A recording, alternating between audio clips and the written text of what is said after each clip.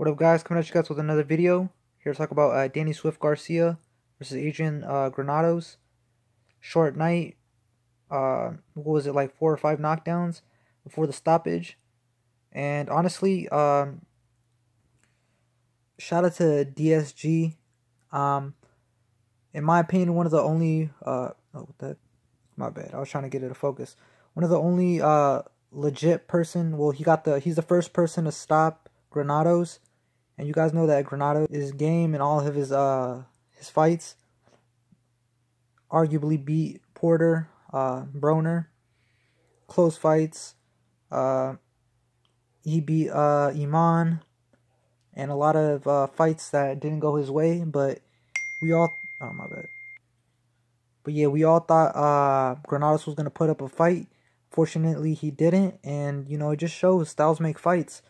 Um, just because Granados beat uh or not beat uh gave uh Shawn Porter a good fight um doesn't mean that uh you know uh Danny would uh like do the same thing uh to Shawn Porter.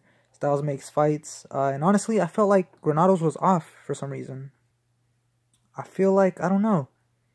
I mean, I feel like Danny started off super slow at like the first two rounds, like throwing jabs at like like you could see them coming. You could see those jabs coming.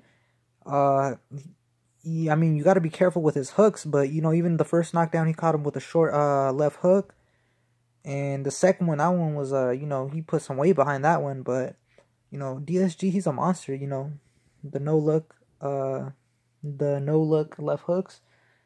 But he, man, he's still a monster, man. He's trying to call out Shawn Porter, Keith Thurman uh, Pacquiao, Errol Spence. I guess anybody who anybody honestly can get it. DSG is a threat. Uh, he's still a threat in the division. But yeah, that was a good fight. Uh, go ahead and comment on the video, like the video, and subscribe. Peace.